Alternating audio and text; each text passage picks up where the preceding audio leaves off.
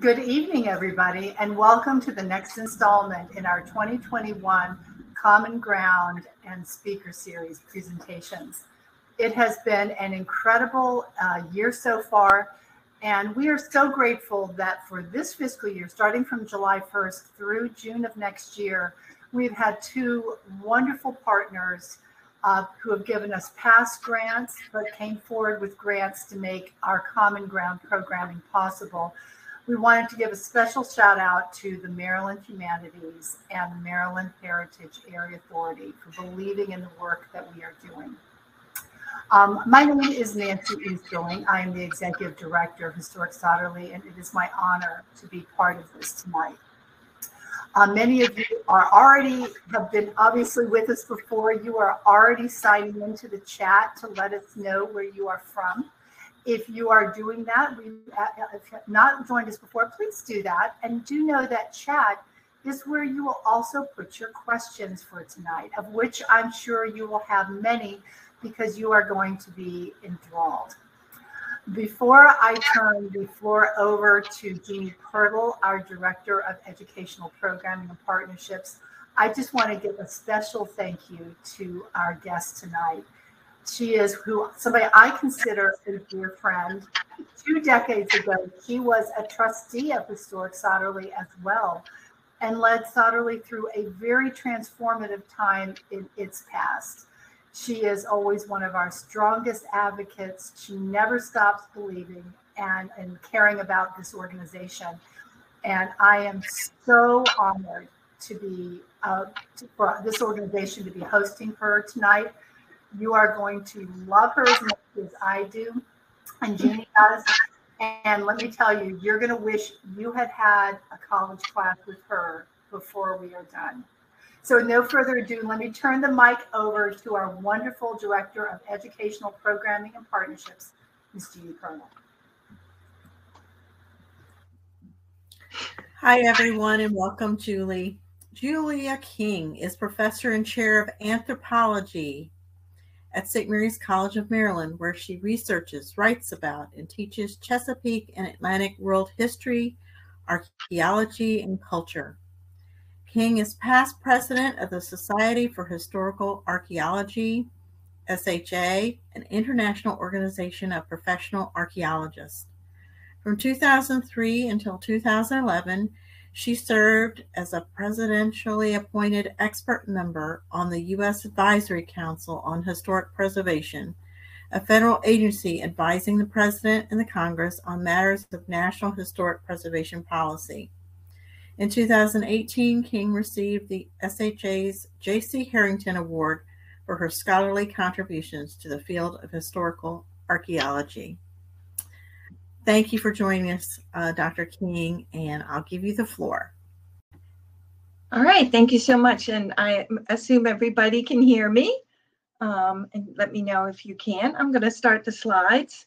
And I want to thank you, Jeannie, for that lovely introduction, and also Nancy, and uh, and Historic Sotterley for inviting me to share um, some of the archaeological discoveries that my staff and students and I unearthed at Sotterley in 2019 and 2020. Uh, we had generous support from the Sotterley staff and also from the Maryland Historical Trust. Um, we were able to collect really important information about Sotterley and about life in 18th and 19th century Southern Maryland. So I'm really excited to share the findings I'm with you, and I'm grateful for the opportunity to do so this evening. So we're going to hope for no operator error, and um, and let's see if this works. Oh my gosh, it works. Um, now, for those of you who may not be as familiar with Sotterley, um, because I don't completely know who this in the audience, but you should know that it is an extraordinary, extraordinary public history site um, and it's located on the Patuxent River in St. Mary's County, Maryland. And if you haven't been there in per- person, you should definitely make an effort to do it. Um, today, the uh, historic Sotterley includes about 100 acres of its original 2,000 acre extent, and Sotterley has played a really important role in Maryland and American history. Um, and it continues to, by the way. Um, it really does, and I'll talk about that a, a little bit later. Um, the property was home to Native Americans for centuries. Uh, this is an image of John Smith's map of 1608. and in the close up to the right, where you can see the red um, circle, you can see the town of, and I always butcher this, but I think it's pronounced Aquatatonicsuc. Um, the scale on the map makes it difficult to place this town directly on Sotterley's 100 acres today, um, but we are confident that it is in the vicinity. And the archaeological findings did, in fact, reveal indigenous habitation along the waterfront. By 1699, James Bowles, who was a wealthy merchant, had acquired the property. And in 1703, according to tree ring dating, um, he had built himself a pretty modest, earth fast hall and parlor house. You can see a hall and parlor house. It's a two room house with a loft above. And he's a pretty wealthy uh, guy. And so, you know, but he's building a house like most everybody else. He was a planter. He was involved with the Royal African Company and with the labor of enslaved people, he was building wealth for himself. And in 1715, tree ring dating tells us that he adds on to the back the new room, or what some people might call a back room. Um, and then the house, which passed into Plater and later Briscoe and then Satterlee families, continued to be enlarged, growing somewhat or organically along the ridge on which it sits um, until assuming the form uh, that is so familiar to us today, those of us who've been out to Sotterley. Um, but while the Sotterley Mansion is an amazing survival of early architecture, and it really is because it is a it was a earth fast, that is, it sits on post or it sat on post directly in the ground, and it was mostly frame. Um, it's not the only survival. Um, many of you are familiar with the 1840s quarter for enslaved families, um, and truly a preservation miracle that this building survives. There are not many of these types of buildings um, left in Southern Maryland or even in the entire state of Maryland, uh, and especially those that are open to the public. And then there are also support structures, such as this late 18th century necessary or privy in the garden. This one is made of brick. Um, and so it's really a kind of colonial bling, you know, to have your privy made of brick. Um, and uh, and speaking of bling, the landscape itself survives. Um, and you can see in this slide the terracing in the garden on the east edge. And of course, as an archaeologist, I absolutely love the landscape. So, speaking of archaeology, which is the reason for our gathering this evening, um, I like to emphasize to my students that archaeological information is as important as documentary evidence for getting at what happened in the past. It's, it doesn't necessarily stand alone, but then neither does documentary evidence. Um, and in fact, some people would argue that archaeological evidence is more reliable than documentary evidence. After all, people who couldn't read or write, or people who could read or write and didn't have the time to leave behind writings, um, they all still leave, left material evidence in the ground. So it becomes sort of a, a forensics exercise. Now, as you can see by this fragment of um, oyster shell off to the right, I'm not sure if you can see my cursor, but in the lower right of that slide that just, or the image that just came up, you can see a piece of oyster shell. Nothing really to write home about, but it tells us somebody was there. And then in the middle of that slide, there's a linear brown thing, and that is a cut nail. And the cut nail, cut nails were made, well, up into the 20th century, but we can look at that nail and know that that's a 19th century nail. And then the oyster shell says, hey, somebody was here. Um, and it can tell us about what people did on Sotterley, all people, including not just the owners, but the enslaved people who worked there. Um, and I should point out that for a site like Sotterley, even the wealthy residents, the free people who enjoyed more free time than their enslaved workers, they left really few records. It's, it's really kind of surprising that there's not more. As we screen the dirt, you can see the screen in the background we find bits and pieces of this evidence, kind of like what I call uh, archaeological DNA, um, but it's a piece of ceramic. Um, and it says that someone was here. They didn't just get here by, you know, dropping from the sky. Um, the person who's holding this uh, ceramic is holding a stoneware ceramic vessel, probably from a stoneware jug that dates to the 18th or 19th century. And of course, everything that we do is really carefully recorded. And I want you to look at this hole before we move on too much. You can see that it's a hole, it's about a foot in diameter. You can see a flag off to the left. So all of these uh, holes, we dug these holes across the property. I'll show you a map in a little bit. We screened the dirt that came out of the hole and then we recorded it. And you can see the woman who was running the project for us out there. She's writing down the soil layering. She describes the artifacts. And to her left, which would be our right, you'll see a little book there. It's it's kind of washed out, but that's a Munsell soil color book. Um, and so everything we do has to be carefully recorded. Archaeology is just as destructive as a bulldozer that comes through for a new housing development.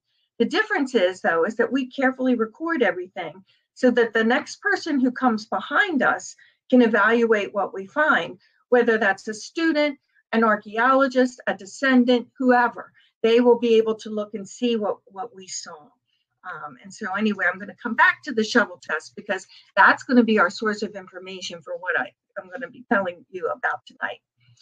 So that, that kind of brings us to the real meat of tonight's presentation, what we found. And we found a lot. It was a real challenge for me to think about how I was going to share with you all the findings that we made. You know, with students, they're trapped. They can't get away. So you can just go drone on and on. But I can't do that in a webinar. So like what would I what would I what would what would you all find really interesting? Should I talk about the garden, which was one of the highlights of a visit to Sotterley, relating that archaeological evidence suggests that this space was a garden from the earliest days of Sotterley's colonial occupation. Sometimes we refer to this as a colonial revival garden um, put in in the 20th century, but it actually appears to overlie an earlier garden. Um, or should I talk about the scattered fragments of late 17th century uh, artifacts on the property's north end that we found behind the necessary sort of um, kind of seeping over into the uh, next door neighbor's property. I mean, these are late 17th century materials. We know James Bowles is there in 1699. He does not build that house until 1703. Where is he for those four years? And we got a few really early artifacts that suggest it might be there. So should I talk about that? Um, then I thought, well, maybe I'll talk about the native settlement located in the far eastern part of the property along Sotterley Creek, all the way down there at the end by the tree line. After all, Indigenous history is always of great interest to uh, audiences. And we found a site here that looks exactly like a native site on the opposite side of the river, a site that we know archaeologists call the Cumberland site. Um, and the fact that they're so similar suggests that for them, the Patuxent River was more Main Street than it was barrier like it is for us today. So, should I talk about that? So, in the end, given time limits, um, I decided to take my presentation in the direction of the enslaved people who lived at Sotterley between 1699, maybe even a little earlier, um, in 1864 when the Maryland Constitution um, frees enslaved people.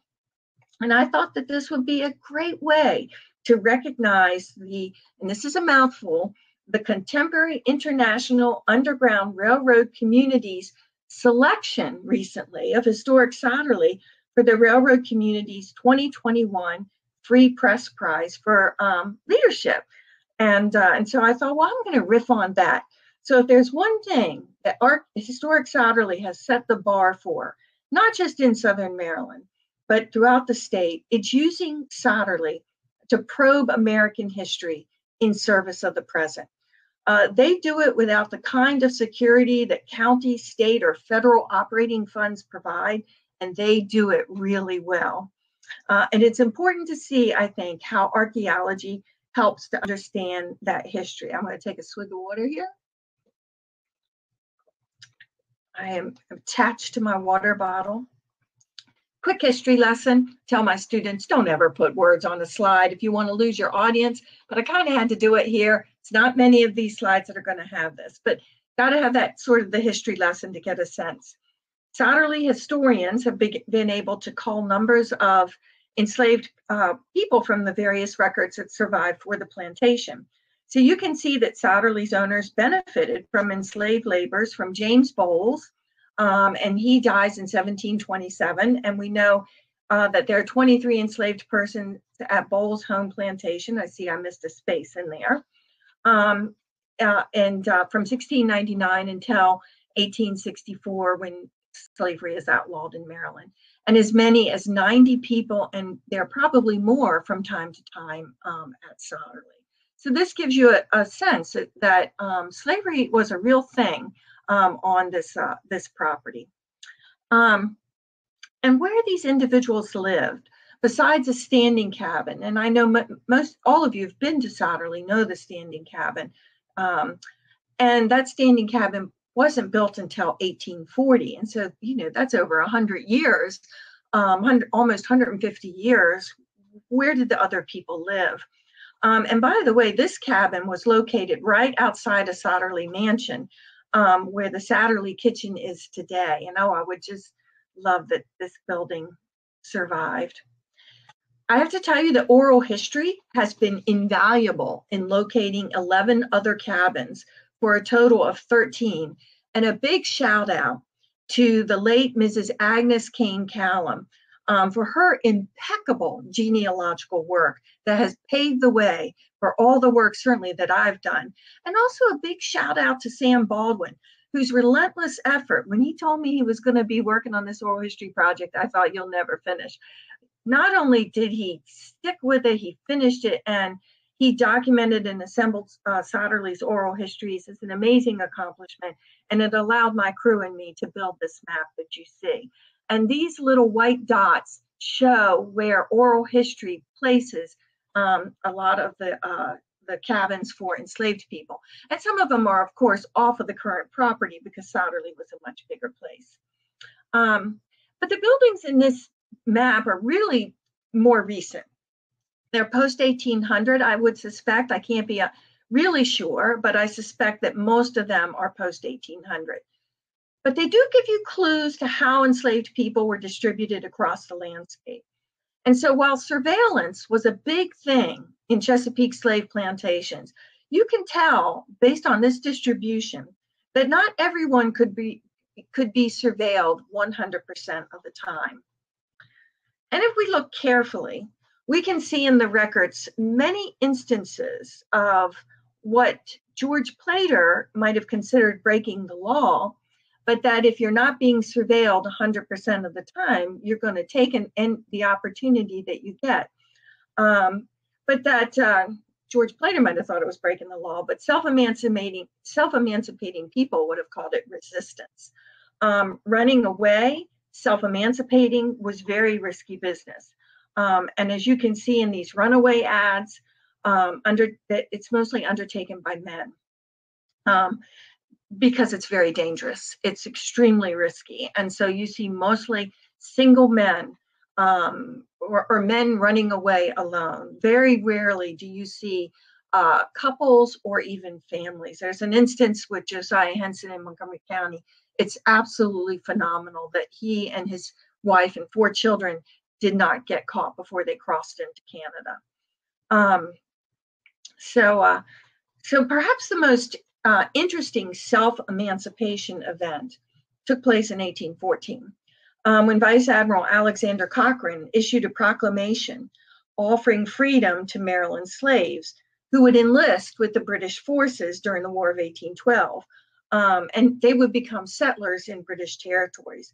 And many Marylanders, many enslaved Marylanders and their families seized the uh, chance for freedom and they joined the British uh, project I worked at down in St. Mary's City, there were, I believe, 19 people. 30 more people here, 48 people, astonishing. Um, they made their way off the Sotterley plantation to British naval vessels that were anchored in the Patuxent. But the question becomes where did these men, women, and children live? And what were their lives like? And the circumstances of their escape. All of that has been lost all we know is from the record that they that they left and that their descendants um, are either in Nova Scotia or in the uh, in the Caribbean. Um, at least they were lost until archaeology stepped in. So let me give you the obligatory archaeology slide. Now, some of these maps, I will be the first to admit, are worse than words on a slide, right? Um, because you kind of go like, whoa, what's going on? But you have to be, you have to become a bit of an archaeologist to understand what's going on. So I'm going to explain this slide a little bit, and then we'll um, we'll move on. You'll you'll understand how we're looking at this data. Um, so let me do this next slide. Remember the shovel test. Remember the circular holes. So we would, you know, we if you go to uh, an archaeological park like historic St. Mary City or Jefferson Patterson Park, you'll see them usually excavating larger five by five foot uh, test units. And that's what you do when you already know you have a site. Um, but if you want to figure out what site you have on your property, you don't have the kind of time or funding to dig these five by five. So we use, archaeologists use what's called shovel test. And we excavate them every 25 to 50 feet. Each one of these little crosses represents one of those shovel tests. In this area, they've been dug at 50 foot. Can you all see my cursor? Maybe Nancy or somebody could tell me if you all could see my cursor. No, we cannot see your cursor. All right, so if you look over to the left, you'll see um, that there are these little crosses. In, the red boundaries are Sotterley today. And you and you can also see the Sotterley buildings. You can see the parking lot. You can see the tree lines, and then those little crosses, of which there are many. Um, each one of those represents a shovel test. On the left side of the slide and across the bottom, you see numbers. This grid is on what we call Maryland State Plane. The state of Maryland has a big grid that overlays it. So anybody can relocate what we've done. This is part of our intensive recording process. You'll notice that we, these little crosses are everywhere. If you look, some of them are more grayed out. Others are more robustly black. The ones that were grayed out were, were excavated, I think in 1995, by an archaeologist named James Harmon. And if you look, you can see he did around the historic core, he did some of the fields, um, but Sotterley has acquired more land since then. And so part of our work was to get in there and finish that survey. And I'm really proud of Sotterley because I will tell you that I'm pretty sure that Sotterley is the only public institution in Southern Maryland that has finished its what we call what we would call if we were on base the gate to gate survey um, and so this is this is actually pretty uh, pretty impressive um, so each one of those crosses represents one of those shovel tests. You can dig, a good crew person can dig 10 of those in a day. So when you have a couple thousand of those to dig, 10 in a day is pretty good. Um, so our next map that we're going to go to looks just like this, except it's the 18th century artifacts. And these blue diamonds represent the 18th century artifacts. So you can see them, and I'm hoping that you all can see where the main house is. The main house is sort of that long linear house in the middle of the slide, sort of close to the red line at the at the top. And you can see the driveway coming down, and um, you can see the little outbuildings around it. Um, and you can see the quarter going down. If you can you orient yourself, you can see the rolling road. You can head on down. You can see the quarter along there, and then you can see the bar and the parking lot. Um, and each one of these diamonds represents an 18th century site. And you'll notice that there are a lot of them around the main house, which is no shocker there, right? Because the house was built in 1703. If you look over to the right and at the top of the sort of near the north end of the um, the red line, you'll see a cluster sort of far away from the house. That is a weird 18th century site. I have no idea what it is. I don't think it's a quarter for enslaved people. It's maybe part of some landscaping that Bowles did. Um, we've only done shovel testing, so these are the kinds of questions at the next phase um, we would try to address, but there's definitely an 18th century site down there. Um, and then if you look, um, there's concentration here. And this is very interesting because this is not great land. This is, if you've been over in this area, you know it's wooded, it is a ravine area, it's very hilly, and it's dissected by ravines. And this is sort of standing on the edge of one of those ravines. And you're kind of, camera didn't do a great job of capturing what I want to illustrate here. These are steep ravines. You To get down them, you have to find a, an area where the grade isn't so steep, or you have to slide down on your backside. And we were finding artifacts on the sides of these slopes. Uh, and then we, and there were flat areas as well too. And so that was really cool. It's like, well, these are 18th century domestic artifacts. We know where the Bowles and the Platers are living, and they're not living here. So this, in fact, may be where the enslaved people who were working for the Bowles and the Platers um, uh, into the early 19th century were living. So we were very excited about that. And then more science. there will be a final exam at the end. Um, there's a certain ceramic type called uh, pearlware. Um, and you can see a couple of fragments in the um, in the uh, little inset. We know that pearlware was manufactured between 1780 and 1820. It's really distinctive. If you're an archaeologist, you can pick a fragment up right away and you can see it's got a bluish cast to it. These have a green decoration on them, but if you turn them on their back, they have um, there's a bluish cast to it, and that's because they add cobalt to the glaze to make it uh, whiter.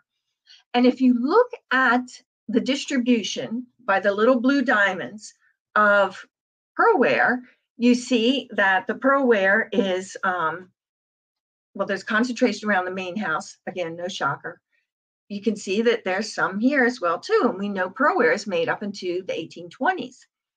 And we also see a little concentration here, which we did not see with the 18th century stuff. So um, we go back real quick, and I hate going back, but I'm going to go back. Oh my God. You can see in that one area to the south, there's no 18th century stuff. But if we go here, we see it here, and then we see it here. So we can, that looks like it's a Plater occupation quarter uh, after 1780. And then over in that ravine area, that first circle, that larger circle, we, we think there's at least three and maybe four or five uh, cabins over there. Um, and then something really interesting happens. If you look at whiteware, and whiteware is a ceramic that is first made about 1820. And you'll see that whiteware is located around the main house, no shock there. And in that southern area, let me see if I've got some, uh, it looks like I've got some uh, um, circles to show you there. And that first larger red circle, you'll notice that there's not much whiteware. There certainly is not the concentration that we saw before, which is really interesting. The site to the south in the circle appears to have a lot of whiteware.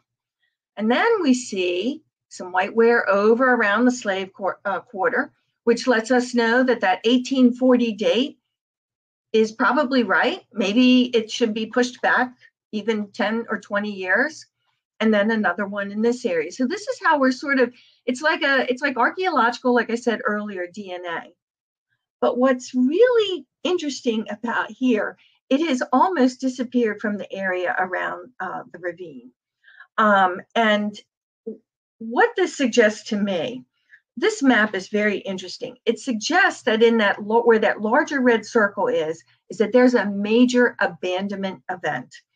And there's also a major realignment of quarters, right? Suddenly there are quarters along the rolling road. Um, I believe that that abandonment event is linked to the self emancipation of enslaved families. Um, and I think that the realignment is how the planter family responded to that. Um, the families that left probably knew that ravine by heart. And you can see the blue lines where the streams at the bottom of the ravines, um, 48 people had to creep through that ravine. Think about that 48 people. Uh, and almost half a mile to waiting ships in the, in the Patuxent absolutely remarkable. And you never see people housed up here again. And I think that that is by design. Um, so um, I, I think that that's a really important discovery that there are these 18th century quarters that they are probably linked to that self-emancipation event and that now that we know that we're th- they're there we can start to develop research questions about how did these individuals live and how in fact did they get to the patuxent um, and i suspect it was through the ravine so let's go to uh, some other things that we found out with the um, with the quarter or with the uh, enslaved lives at Sotterley. What about the standing quarter? Um, there was work that was done there in the 90s, and part of our work was not just to go out and finish those shovel tests, but it was to go back and look at what people had done before, to see, to sort of reanalyze it. You know, 25 years later, do we know more? Can we say more about this stuff? And so the woman who worked on this project, her name was Jessica Neuwirth, and they were getting ready to stabilize um, the quarter in the 90s. I think they had a grant from the trust or somewhere. Um, and so she and her crew, this is one of her crew, went out there, and I want to talk about an unusual feature that she found in front of the west door. Uh, she's this is an image that she took. These are images are at the Maryland Archaeological Conservation Laboratory now, and it looks like she or the photographer is standing in the doorway taking a picture of this woman woman who is uh, uh, uh, collecting soil, and you can see the oyster shells there.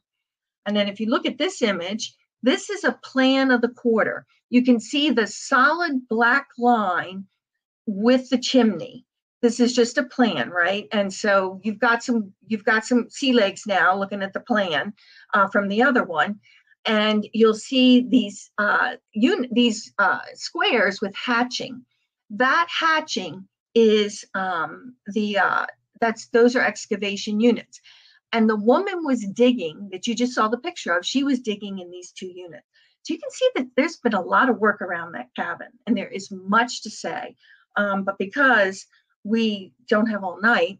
Although, you know, I could talk about this all night. So, you know, we can stay if you want. Um, uh, but I'm going to give you sort of the, the, the cliff notes, the really interesting stuff that we found. Um, here is a close up. You can see the quarter. North is to the left. The west side is to the bottom of the slide. And the image to the right is actually the wall of the quarter. You can see where it says doorway and this weird feature that they think it wasn't a barrel, but it was probably a bucket. Um, it didn't turn out to be a barrel when we did the, the reanalysis. But it's right in front of the doorway. What's up with that? You know, what is it? Why would you do that? I could understand if you if if it was a barrel and it was at the corner of the building as a kind of cistern but why in front of the doorway? So, and the other thing was, and here you can see it, if you look in this image, you can see the unit in front of the doorway and notice over to the right of the unit, you can see the door and you can see like the threshold into the quarter, and then you see the excavation unit. And in the bulk of the excavation unit, it's kind of a light brown. But as you look over in sort of that corner on the right hand side, see how very dark it is? I mean, this is the wood that has run, that, that has rotted out. And when she excavated it, when she removed it, she found a brick. And you can see sort of the the the ghost image of where the um, bucket was was sitting underneath, and it's kind of hard to tell. But you see that triangular thing? that is an, uh, an Indian or a Native American projectile point. Now, after surveying Satterlee, I know that there aren't many projectile points on this property. So it's really interesting. Somebody found that and brought it and put it under this bucket. Um, there are no Native American artifacts other than this around this quarter. There are elsewhere on the property. So this was really very interesting. And then Jessica Neuwirth, while she was writing, uh, while she was reporting on this, she said she also found large corroded metal fragments um, with that were associated with this feature, and she said that she left them in place. I looked through our images. I she didn't take any pictures of these corroded images or these these pieces of iron, um, but she said one measured half a foot by about a quarter of a foot. So that is a sizable chunk of iron. Otherwise, she said very little about them and she backfilled them. Now you have to remember, this is back in the 90s. People aren't really haven't really gotten into the study of these quarters in the way that they that you know 25 years later and that's why we go back and look at these collections so i started looking around anybody find buckets on you know talking to people and at Wye Plantation on Maryland's eastern shore, they found some worked white marble. They found an iron wheel. Uh, it was in the west facing doorway where a building housing enslaved Africans had once stood. Under the southern side, that was on the west side, on the southern side of the building, they found buried tools, including a hoe blade, a wood splitter, and a shovel head. Um, and archaeologist Elizabeth Pruitt, who was working for archaeology in Annapolis at the time, she argues that these items and their suspected association may have served as a form of protection for the structure. She noted that iron tools became emblematic for are protective qualities um, of the Orisha or minor god um, and were used as symbols by herbalists and practitioners who would call upon this uh, power in Africa. Um, and she and she thought that maybe these hoe blades or hatchet blades that have also been found in the doorways of quarters at Kingsley Plantation in Florida, Cooper Plantation in Georgia, and the Indian Rest Cabin in Calvert County that was found there by archaeologist Kirsti Uunila. Um, she thought that these might, Elizabeth Pruitt and Kirsti, thought that these might in fact be uh, protective charms. Um, and below this cache um, that was found at the Indian Rest Quarter, they found a cache of objects, and then below it, they found an iron hoe. And Ywone Edwards, who's an archaeologist with the Colonial Williams um, Foundation, she also cites an oral history of a former enslaved man named Henry Rogers, who described how they would hide charms in the front, in the ground in front of their cabin to render those people who were approaching the cabin friendly and peaceful, even if they were originally coming not in a friendly and peaceful manner. Um, so this is all really interesting. If it is a bucket, and I looked up, you know, what about buckets? And I found in an African American folk tale, Brer Rabbit, many of you may have heard of it, the quintessential, Brer Rabbit is the quintessential trickster figure uh, in African American folklore. And he convinces Brer Fox to rescue him from a well. Brer Rabbit has fallen into a well um, by telling Brer Fox that the moon reflected in the water of the well is actually a block of cheese. So Brer Fox jumps into what's called a must be a reciprocating uh, well bucket. He jumps into the bucket that's up to go down to get the cheese, and meanwhile Brer Rabbit is lifted to his freedom. So Brer Rabbit is sort of this trickster who succeeds by his wits um, rather than necessarily by his brawn. Um, and he provokes authority figures and he bends social mores to as he sees fit. And so it's really kind of interesting, I think, that you know, Brer Rabbit is moving to his freedom. Now, I realize that I am out in speculation territory big time, but it is through this kind of creative speculation that we start to come up with the kinds of questions where we go back into the data and we ask, can that support this kind of interpretation? Um, and finally, um, I want to tell you we're back to the map of the um, slave quarter, and this unit is located inside the slave quarter. And, and the um, Jessica wanted to excavate it because a lot of times you will find um, these what are called subfloor pits they're like cellars um, dug in front of the hearth. Sometimes they're just a, a, hole that's dug to maintain to keep vegetables. Other times they are used to keep all sorts of personal possessions because these are, are crowded facilities. There's all sorts of reasons. Um, there's been a lot of people who studied and tried to interpret them. And some of the things that she found, she only dug the first couple top layers, and she found that, that in fact there was a pit. And then from the top of that pit, look at all of this seed material that she got. I mean, this is extraordinary. And it's not listed here, but she also got eggshells because of the dry conditions of the um, of, the uh, um, of the slave cabin. Um, and so that was really very interesting. And then she also found this bat's foot, which in some cultures is seen as a harbinger of death. So is this just a bat that got loose in the cabin after it had been abandoned? It was no longer used? Or is it something that was used by the people? One of the questions we'd want to ask is, are there other bones associated with the bat? That would suggest maybe the bat got lost in the cabin, you know, flew into the cabin and got trapped and couldn't get out. But it's very, very interesting that these seeds, there, there's just a lot more questions that you know archaeology never ever gets the answer. It gets questions. That's why a lot of people think that we're just a very expensive uh, uh, uh, bling ourselves. But i have to tell you we get to resources that other people cannot get to through documents. And finally also found at the slave cabin was a civil war button which is kind of interesting and exciting. It probably dates to 1840 to 1850 it was a standard issue um, infantry but- button. Um, it's got an eagle uh, with an eye in the center that stands for in- infantry. We know from oral history that Walter Hanson Briscoe would sometimes go to Leonardtown in a Union uniform. Um, this was found at the quarter. Why is it there? Um, we don't necessarily know, except to say that it is there.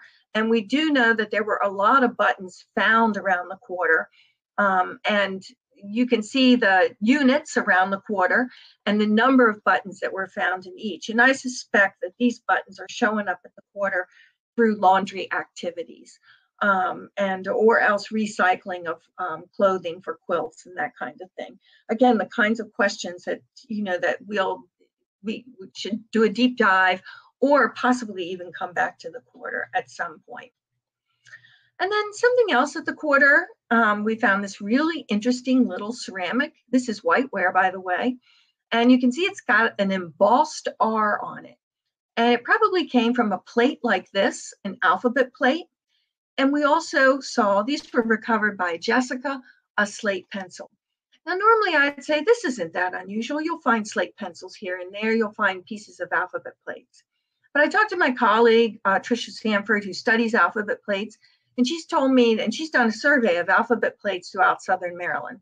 And she says that they are almost without exception found at the homes of either newly freed uh, slave, enslaved people, people are newly freed, like postbellum, or in quarters.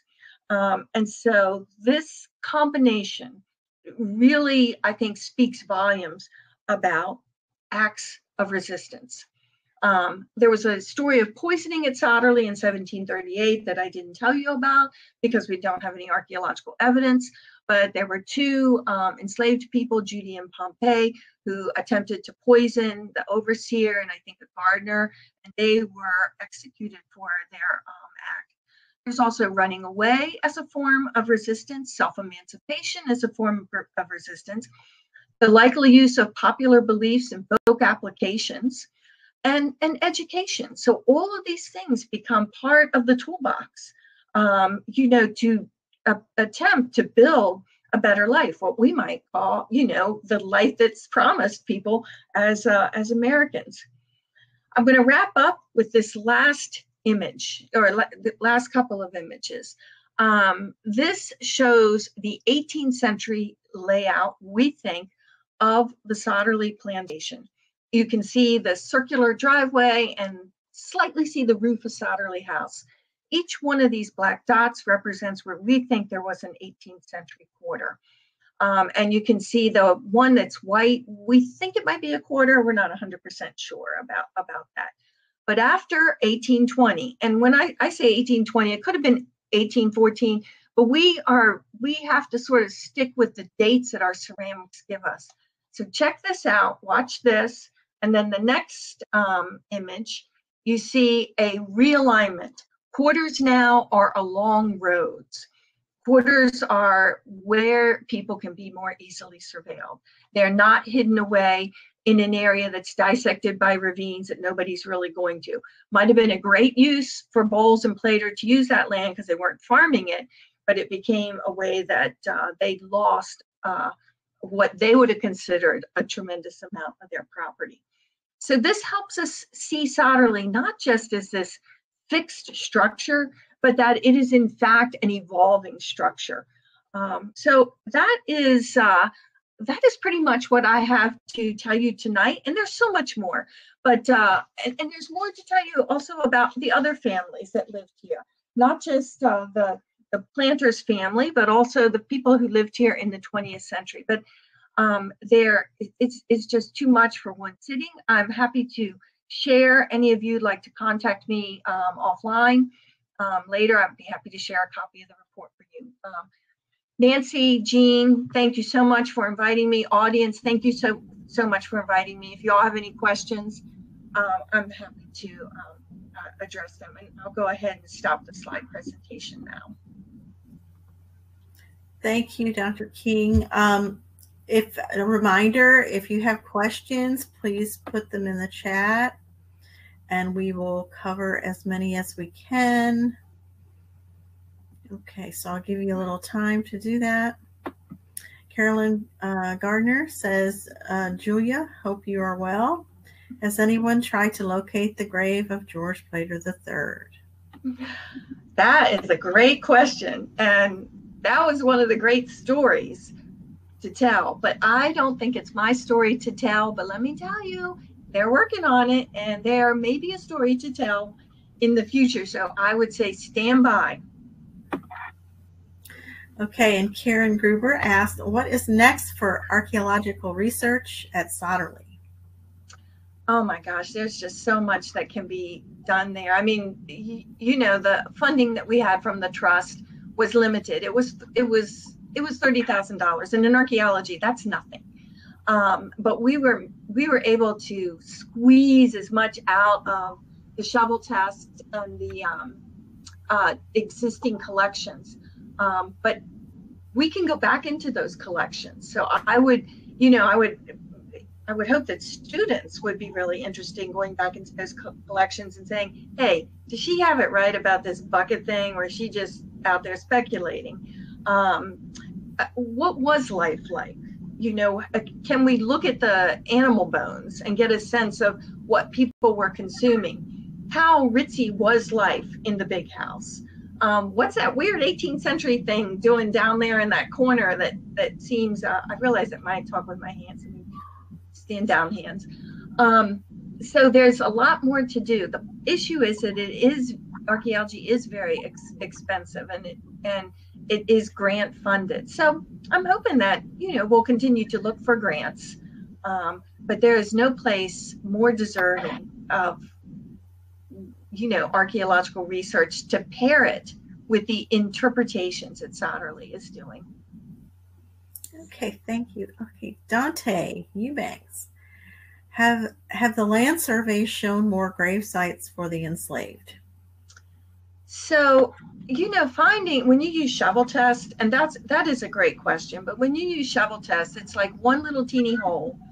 You only go down about a foot because you just want to get the artifacts. Um, so you don't really, you can't even tell if you're on top of a grave. You can't necessarily tell if you are. Now, I will tell you that the oral history um, that uh, that Sam has, I think it's online.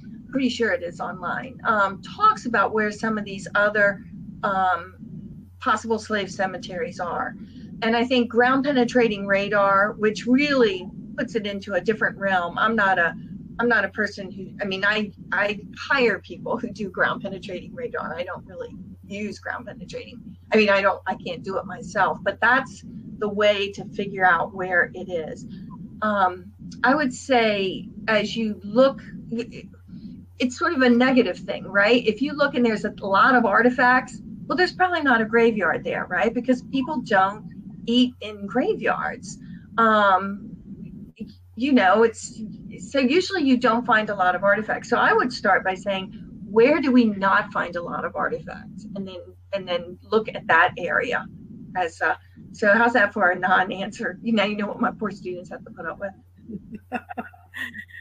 it's in the book. Uh, Raymond uh, asked, have the findings been published yet? So I did complete a report, and um, if you want to send uh, Jean or, or Sotterley or me, um, and I'm going to go ahead and put my email into the um, into the chat box. I would be happy to send you a copy of the report. So, okay. So Robert asked, Thompson Furniture is, is the location of Four Mile Run Episcopal Church. Uh, where is the Plater family buried there? Oh boy, that's another great question. Um, I believe, and I'm going to have to be dredging this out of my memory of the oral history, but I think when Sam was trying to model where the Plater grave might be, um, he had looked at some work there, and I think 235 may have taken out the grave there, um, or the graves there. Um, now, I don't know as much about that, so maybe Jean, if that's something you could address, but I I just remember that that was a possibility, but it couldn't pan out because of the survey I think Regina Hammer had done. Uh, and if I'm remembering this wildly wrongly, go ahead and correct me. Um, that that's still an argument we still have. I mean, um, uh, we're the uh, you know we we we know that there was a there used to be a um, you know a chapel there that on and then it was Sotterley property because Sotterley used to be huge. So the, the one theory is that uh, uh, e- even if George Plater was buried there, that still would have been Sotterley then. Um, and then there's people like Sam who don't agree with that assessment. So, so this will go on and on until we have definitive evidence. but every time a tree blows over, we look for George Plater well, I have to tell you that Sotterley maybe one day can have a grave, a, a cemetery summit, you know, and get get all the parties into the same room and and brainstorm, you know, duke it out and then brainstorm. Right, right. Okay, let me look for some more questions. Karen asked, "Did you locate any middens or dry wells?" We found lots of middens, no dry wells. Um, we found lots of, I mean, the way an archaeologist defines a midden, it's really just where you threw stuff out in the yard and it builds up. So there's there are huge middens around the main house. I didn't talk about the main house because it wasn't a focus, although the main house was also, you know, people worked, enslaved people worked in there and they also slept in there. So, you know, in some ways cutting it out is really an artificial thing to do. But we found middens on both sides, on the riverside and the roadside, and you can actually see the house turn, uh, you can see where the way the middens are distributed. You can see um, people move sort of from a, a, river orientation to a street orientation um, based on the location of the middens. But everywhere you sink a shovel in the ground, you're going to come up with refuse at Sotterley. So I would say there are middens everywhere. Some okay. are richer than others. For um, for those that aren't uh, vocabulary savvy, can you explain really quickly what a midden is? A midden is basically just a buildup of refuse. You know, people didn't have concepts of germs or disease, so they would often just throw their their refuse, their garbage out in the yard. I mean, it's a big payday for archaeologists. Um, and then it would build up. You know, chickens and and uh, pigs might root in it. Um, people walk on it, so it gets broken up, but it builds up over time and uh, and so most of our archaeological sites um, are actually in the zone that we call the plow zone, right? Because it's been plowed since, not at Sotterley, but parts of you know parts of Sotterley have been plowed. So so a midden is really just a buildup of refuse. Thank you. So Kent asked, I have heard the realignment of slave quarters explained as a result of 1831 Nat Turner Rebellion. It is interesting to consider the role of the 1814 self emancipations. Do you think Nat Turner's played a role in the realignment of at Sotterley 17 years after the 1814 emancipation? I would say that well, first of all, as you as everyone who follows the Nat Turner, I mean, Nat Turner had a huge impact on the psyche. I mean, there was already impacts on the psyche when you're holding people in bondage. You can pretty much assume that you know they're not gonna like like their situation.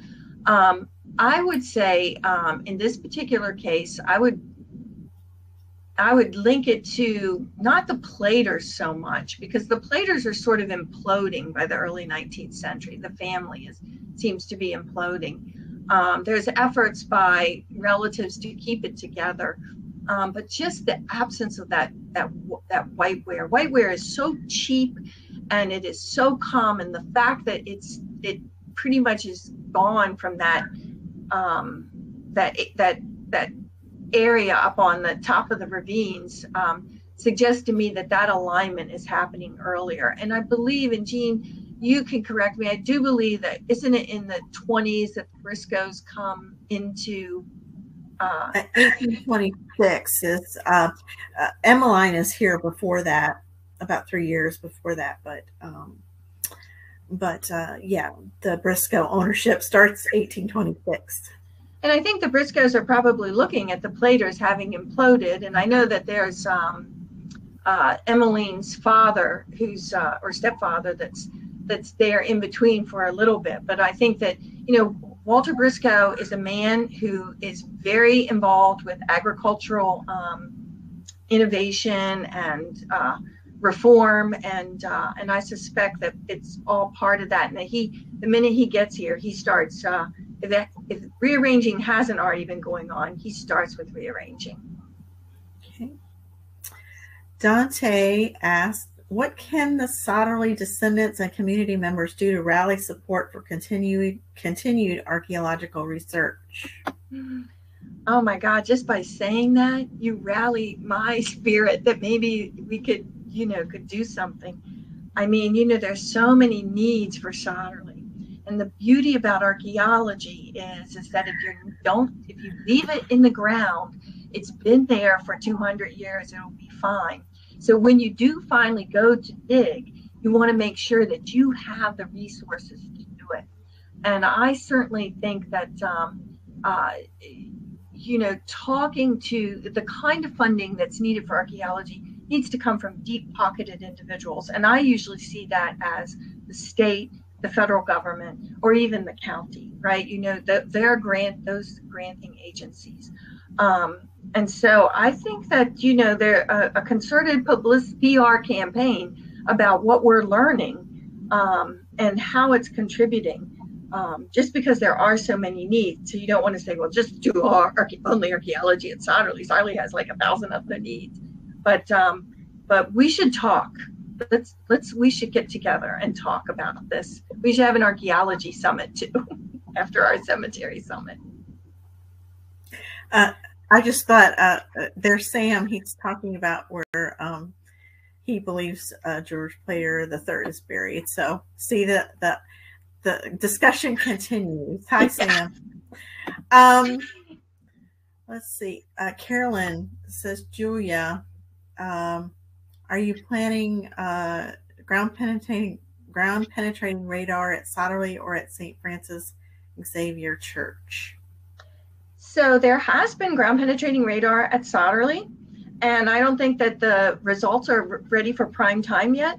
Um, so uh, there has been, and um, and it too is expensive. Um, and St. Francis Church, I mean, I, I, that's like not my project. So I don't know. I know Jim Gibb was working over there, so maybe um, he would. Um, but there, you know, you bring in the radar when the the, the geophysical guy, um, and I use this one guy, a guy named uh, uh, Tim Horsley, but there are others who do really good work. Um, when you have narrowed things down, right? Because it takes a long time. So if you think this is possibly a cemetery, or you think there's a house here. Um, but again, um, you know, it, we're talking to do just even a small survey can be ten to twenty thousand dollars. Sonia has a question. How do you feel about shovel testing in general? They do a lot of damage, but I don't think um, there is a better way to acquire this kind of spatial data right now. Oh, absolutely. I mean, shovel tests are not, they're not as damaging as you think because most of Sotterley has been plowed, right? So the plow's already come through and, and churned it up, and the plow's already broken up the artifacts. So, yeah, when you're digging a shovel test, you might come down on a ceramic and break it. Um, that doesn't happen as often as you think it would. But um, so when it's a plow zone, I, you know, what's the trade off? Never know or go in there with a trowel. I didn't have it. Um, you know, so shovel testing really is the best. Now, some archaeologists, and I, I disagree with them on this, they think if you just plow the field again and walk, you know, and then surface collect, the problem with that at a place like Sotterley, and a place like that anywhere in Southern Maryland, is you have buried deposits. And, and when you plow a site, you're not going to get um, the buried deposits aren't going to come up. So yeah, it. I mean, there have been the, the shovel incised artifacts, but that comes even when you're digging five by five foot units in plow zone. So it it is a it's it's a trade off. Okay, Eric has a question. Uh, any thoughts about the whiteware uh, hits in this in the STPS in this in the southeastern area of the property? So you know, archaeologists have ex- explanation for everything. Uh-huh. There's some vocabulary there, I know. so so Eric's asking, hey, you sh- there were some shovel tests you didn't talk about, and I saw whiteware in them. So what's up with them? And so notice how I conveniently didn't talk about them. So I have I have an, an insider who knows. Um, but this is how I would explain that. And I don't think this is a good explanation. But a lot of planners starting in the 19th century would use something called night soil. They would take soil out of privies and spread it on fields. And so sometimes in those field in those privies you would find artifacts. And so what you'd have to look at is the are the artifacts just sort of randomly spread across the field or are they clustered? And if they're clustered, that suggests that that somebody's living there. And if they are randomly spread out, that suggests that somebody's spreading night soil. But no, you raised some really good good points. And to go back to Sonia's question, gel tests are great, but you can only push them so far. Okay. Um, William asks a good question. Welcome, William. Are there any records of emancipated persons who came from Sotterley, perhaps descendants in the area? And I'll tell you that, oh, yes. and some of them are uh, in the chat right now and are joining us right now. So um, we have uh, uh, a really uh, fine group of descendants that have identified um, voluntarily, and um, we have lists of enslaved um, uh, and those that were emancipated in 1864. So, um, uh, William, if you think you uh, might be a descendant of either owners or enslaved or free laborers, uh, go to our website, download a form, and send it to us. We'd love to uh, have you join us. Uh, did you have anything to add to that, Julia? No, I think that that you're the person. Okay. Um, okay. Sam asked, didn't a plow pull up a coffin lid? Well, I think, Sam, that's in your oral history. And I think that was in another area. I feel like this is Sam's story to tell. So, but I do think in, in one area that was a possibility for a, uh, a burial that there was, you know, somebody reported having found uh, coffin hardware um, somebody who had grown up on the property. And uh, so, so yeah, I mean, and it's clues like that. These clues, you know, that's how it'll be found. I mean, it's a great, you know, who needs CSI? You know, when you can you can do, do CSI in history, right? Okay, Trudy, another one of our descendants out in California, is there any evidence of ironware in your finds and how are they dated? So are you asking for like iron stone, which is a type of ceramic, or are you asking for actually like pieces of iron, like a, a frying pan? You want to say some say that in the uh in the chat? You just yeah. let us let us know which one, Trudy. Can yeah. you add to the chat? Did you hear her? And ironstone is just a type of ceramic that's like 1830s. We didn't find much ironstone at Sotterley. Kind of interesting, actually. And we didn't. We found some metal objects, but um, again, shovel tests will only take you so far. Jessica, if you remember, Jessica said she had seen those iron items in the in the units that she was digging, but she left them and reburied them.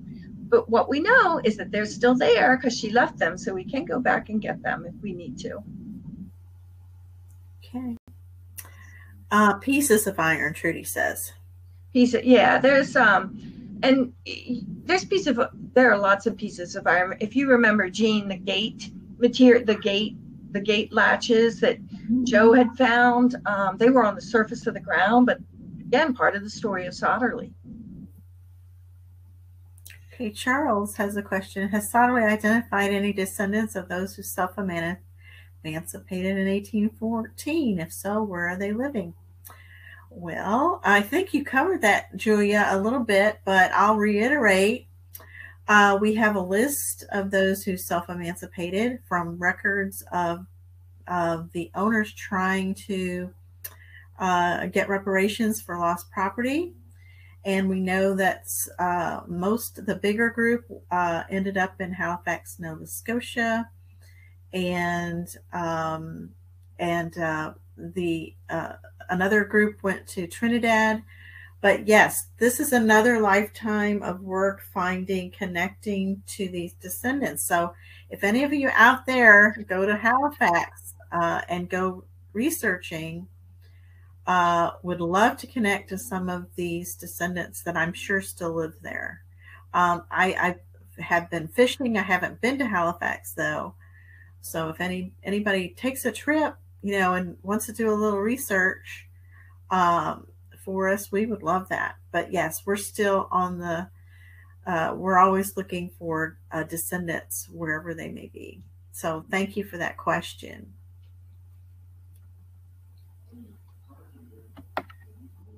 Okay, I think um, I don't see any more questions. So uh, thank you, thank you, Julie, and I'm going to turn it back over to Nancy. Thank you all. Well, I agree with David uh, Dederick, who said, You are a gift to your students, and tonight you have been a gift to us. Oh.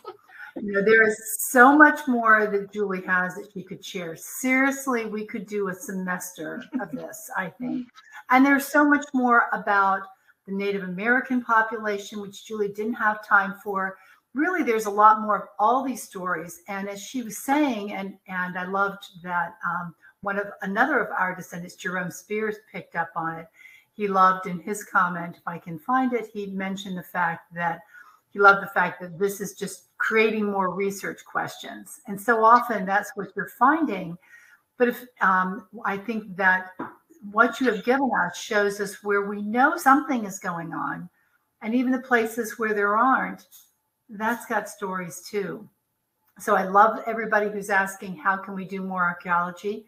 Well, funding, funding, funding, funding, funding, funding, funding. So we can solve that puzzle. We can have a lot more research done. There are so much to find out about those whose lives are intertwined.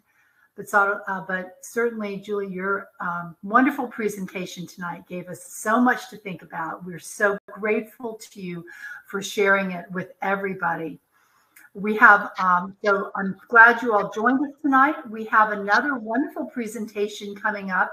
In fact, Trudy, who is in our chat tonight, is going to be doing our next two part event later this month. So you can sign up for Trudy's wonderful Common Ground programming coming up at the end of October. It'll be a two night special.